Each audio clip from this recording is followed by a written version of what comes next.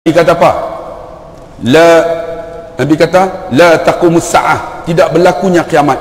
Hatta tuqatilul muslimun al yahud sehingga orang Islam ni akan lawan orang Yahudi. Hadis ni orang nak baca. Hatta wara' al yahud min hajar wa sajar tinggal orang Yahudi ni bersembunyi di sebalik batu dan kayu. Yaqulul hajar wa sajar batu kayu akan bercakap hadza yahudiyun wara'i faqtuluh. Ini Yahudi bersembunyi di sebalik aku bunuhlah ia illa sajaratul gharqat kecuali satu pokok nama gharqat sajaratul yahud pokok Yahudi. Saya tiga kali lah tuan-tuan pergi Baitul Maqdis. Pergi yang keempat tak boleh masuk. Tiga kali masuk. Orang kata apalah ustaz bawa jamaah pergi Baitul Maqdis. Kita bagi levy kepada Israel. Memang nak masuk tu kena bayar 80 dolar. Tuan-tuan tahu tak bila kami sampai di sana rakyat Palestin menanti kami dengan tangisan menanti kami dengan tangisan yang paling sedih tuan-tuan masjid-masjid umat Islam dikuasai oleh Palestin dikuasai oleh Yahudi. Di antaranya masjid Ibrahim. Masjid Nabi Ibrahim. Masjid Nabi Ibrahim ada Nabi Ibrahim kubur dia. Ada Nabi Yakub. Ada Nabi Yusuf. Ada Nabi Ishak. Ada Siti Sarah. Ada Rifqa isteri kepada Nabi Ishak. Dalam tu dalam masjid tu dalam masjid sini Nabi Nabi Ishak tanah Nabi Yusuf. Kawasan Nabi Yusuf dan Nabi Yakub Yahudi kuasai. Kami masuklah masuk. Sedih tuan-tuan. Nabi Ibrahim tak boleh tengok makam dia. Cuma diletakkan lubang sebesar ini ya lubang. Boleh tengok. Yahudi letakkan lilin di bawah. Tengok lilin ya nak tengok tak boleh.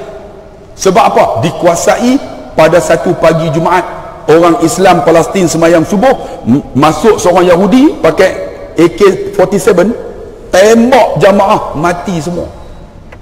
Kemudian ditutup selama tujuh bulan dikuasai masjid Nabi Ibrahim. Yang paling sedih tuan-tuan bila kami masuk tu rakyat Palestin tunggu macam ni ya. dia kata terima kasihlah datang melawat kami dia kata. Kami ni nak makan pun susah sebab mereka diletakkan dinding yang tinggi 20 kaki. Macam penjara terbesar di dunia kawasan Yahudi pelit kereta warna putih. Itu ialah Yahudi.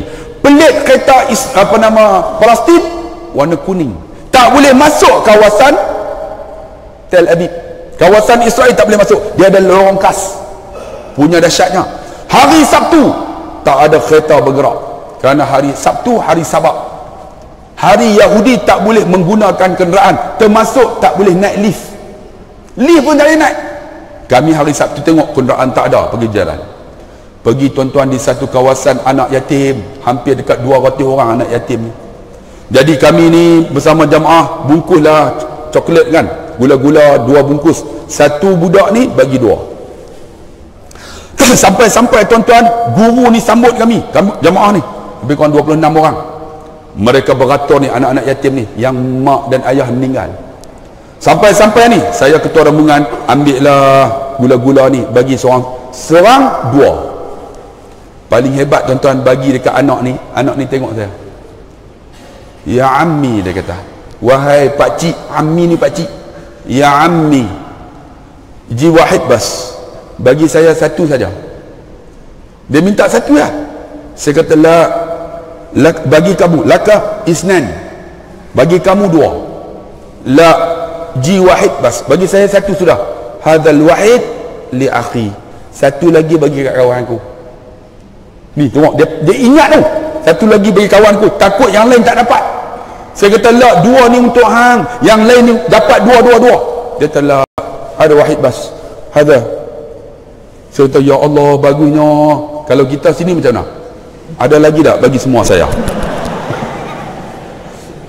Ni bagi saya satu sudah satu lagi dia saya kata lah bagi dua bagi bagi bagi dua. Sampai ujung ada seorang anak perempuan umur dalam tujuh tujuh tahun. Saya bagi kat dia ma'urid hadha aku tak nak yang tu. Kemudian dia pegang seluar saya baju saya. Dia pegang. Saya kata madha turidid apa kamu nak? Dia, dia tanya dia. Dia tarik baju saya. Dia kata apa kat saya?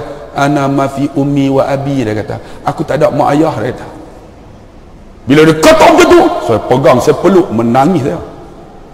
Menangis saya. Dia kata aku tak ada mak dia peluk saya. Saya pun peluk dia menangis. Nasib umur tujuh tahun. Kalau tujuh belas Jadi gol